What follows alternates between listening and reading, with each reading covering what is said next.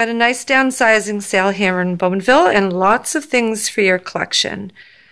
Hope you can make it. We've got everything priced to go. It's all got to go by Saturday, October 15th, 5 p.m. We'll see you soon.